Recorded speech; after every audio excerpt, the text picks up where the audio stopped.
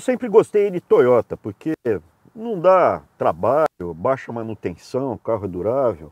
E assim que eu cheguei nos Estados Unidos, eu comecei a ver um carro para comprar e eu acabei comprando essa Rave, que aqui não tem nada demais, né? um carro normal. A única diferença é que é um modelo híbrido. E você não está escutando o barulho do motor porque ele só está funcionando com a parte elétrica. Qual o resultado? O resultado é esse daqui, ó. Quando você vê milhas por galão, fazendo a conversão para quilômetros por litro, dá quase 20 quilômetros com um litro de gasolina. É, eu aqui nos Estados Unidos, a gasolina é relativamente mais barata, mas eu estou gastando muito pouca gasolina, por quê? Porque o carro é muito econômico. Isso aqui é uma tecnologia já dominada. No Brasil, a gente ainda está fazendo a tecnologia passada. Tem que estimular coisa nova, tem que estimular, trazer tecnologia. Não adianta a gente ficar dando crédito, incentivo, linha especial do governo para fazer as mesmas coisas que no mundo já pararam até de fazer, as mesmas coisas que a gente tem feito. Senão, a gente não vai sair do lugar. Eu vou parar o carro e a gente conversa mais sobre isso aí. Um minuto só. Quando eu cheguei mesmo nos Estados, nos Estados Unidos, estava tudo fechado. Você estava na pandemia, estava um caos. E não tinha nada, absolutamente nada. Eu, naquela pressa de sair do Brasil, eu tive que é, sair e esqueci a minha carteira de habilitação. Cheguei aqui, eu precisava de alguma coisa para ir para cima para baixo, estava tudo fechado. Fui comprar bicicleta, não tinha bicicleta vendendo.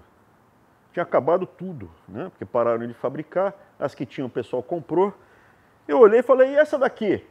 Essa daqui é usada" e o dono está pedindo 200 dólares por uma bicicleta usada. Ela é boa, tem um câmbio bom, tudo bom, só que 200 dólares bicicleta usada. Eu falei, é, não tem outra, vai essa mesma. Só tinha isso, eu precisava me locomover. E é essa que vocês me veem nos vídeos iniciais, eu andando de cima para baixo. Eu tive experiência de usar a bicicleta como meio de transporte, para valer mesmo. É, inclusive na faculdade, meus colegas vão lembrar que eu ia de bicicleta, era uma Caloi 10, mas eu andei, andava 20 km por dia durante dois anos. Até que uma mulher me atropelou lá na rotatória da USP, na entrada. É uma outra história que eu conto, essa daí é engraçada. Engraçada, trágica, engraçada, nada demais. Me cortei todo, mas. Mas não teve nada demais. Quer saber? Posso contar agora? Eu vou contar a história agora, porque ela é, ela é curiosa. Eu estava na, na eu, eu ia de bicicleta para cima e para baixo, isso desde os 14, 15 anos eu andava de bicicleta, ia para todo lado de bicicleta na cidade de São Paulo. Você é jovem, você encara aquelas ladeiras, aqueles morros lá na tranquilidade. Hoje, velho, não dá. Mas eu subia, descia, ia para o espigão da Paulista, tudo de bicicleta. Até que um dia eu na faculdade, estou na rotatória, eu não era maluco, eu dava sinal tal, estava dando sinal, mas tinha pouco ciclista, veio uma mulher mais velha e meteu o carro. Ela me, simplesmente foi, me fechou, voou abrão, voou bicicleta, eu caí no chão, estava vindo os carros e ainda tive o reflexo de tirar. A mulher, uma senhora, devia ter uns 55 anos, ela parou logo na frente, saiu do carro e falou assim: Olha como eu estou tremendo de nervoso. Eu olhei para ela, olhei para mim e falei: Olha, minha senhora, como eu estou sangrando. Né? Daí parou a polícia, ela falou, não, foi minha culpa, tal, desculpa. A polícia perguntou se eu queria ajuda, eu falei, ah, me leva lá pro, pro hospital universitário, lá da USP, né? Aí eu cheguei no hospital universitário, isso que na entrada, né, na entrada da, da, da USP, tinha um pessoal antigamente que ficava pedindo carona, colega, aluno. E toda vez que eu passava, pode passar o helicóptero aqui,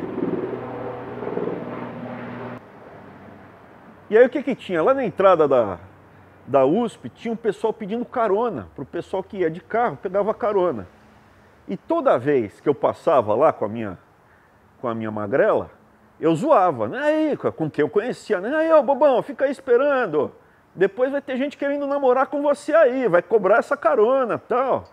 E só que dessa vez o pessoal me viu, eu passei, baguncei com eles O, o policial me levou lá para o hospital universitário, eu segurando, né? Porque eu tinha me, me ralado todo, me machucado. Eu segurando onde estava sangrando, com um lenço e tal. É, tinha cortado a mão, o joelho, o braço, o cotovelo. E a bicicleta tinha sido bem amassada. Daí o. Daí o, o, o passou meia hora, passou uma hora, eu falei, pô, passou um médico, eu falei, será que não dá para dar uns pontos aqui que tá, tá, tá sangrando, tá doendo? Aí o médico olhou para mim, olhou para uma fila de, de, de pessoas, falou, tem ali umas três crianças, você quer que eu passe você na frente de qual delas? Eu falei, não, atende as crianças primeiro, eu fico aqui segurando.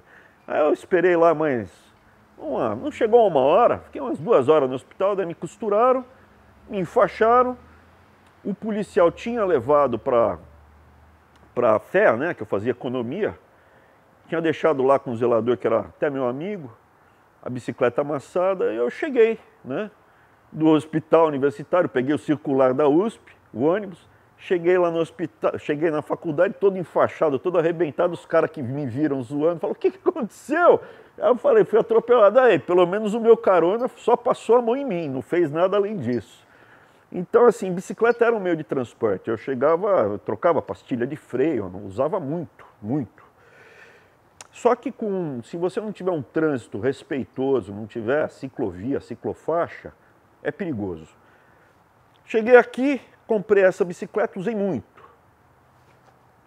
Muito boa, ainda está sendo usada, mas não por mim mais. Está usando outra pessoa aqui que está usando.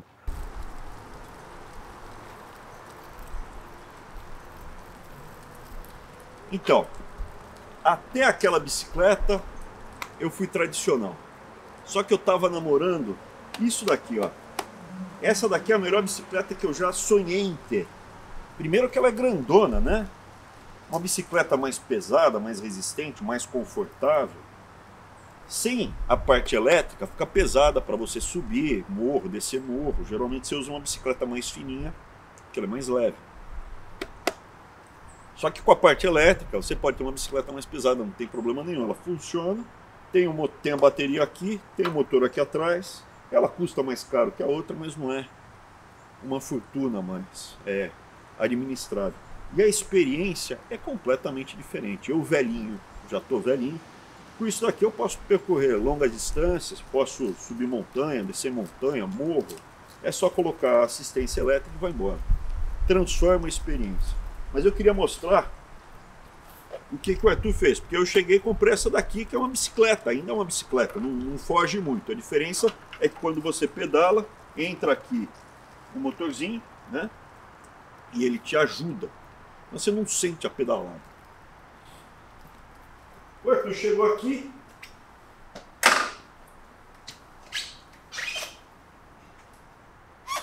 E ele comprou essa bicicleta aqui, ó que não é mais uma bicicleta, já é uma motoca, porque além de você pedalar normal, tal, com a mesma assistência, se você não quiser pedalar, você só vem aqui, ó, só no acelerador.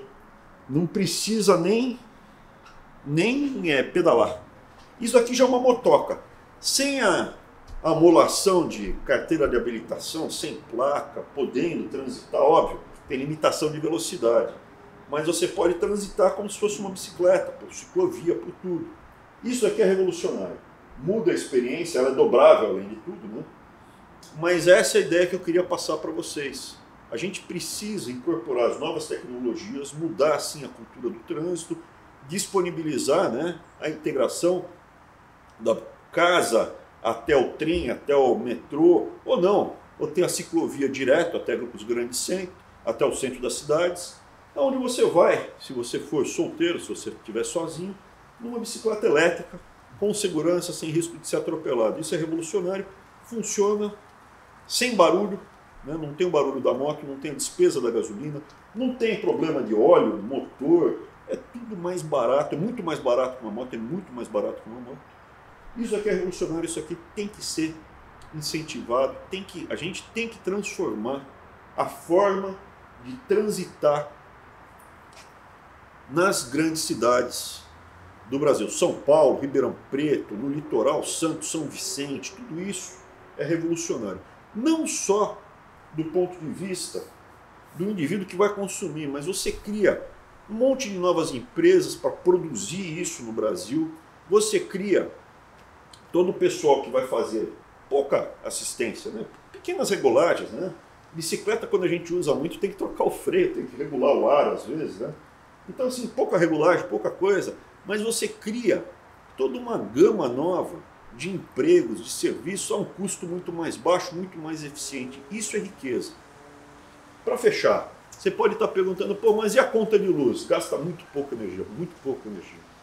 Mas mesmo com a conta de luz, eu tenho também uma proposta aí concreta do que eu fiz no MEC. Muitos vão se lembrar que logo que eu cheguei ao MEC teve uma gritaria muito grande. Vou, vou caminhar aqui um pouco mais para cá. Acho que fica melhor. Chegamos lá e tinha um monte de reitor, gente boa, mas tinha também uns caras estragados. Quando caras eu estou sendo é, politicamente incorreto. Tinha reitoras estragadas também, muitas, muitas reitoras estragadas. Tinha reitoras boas, mas assim, eu me deparei com uns dois, três casos graves de reitoras.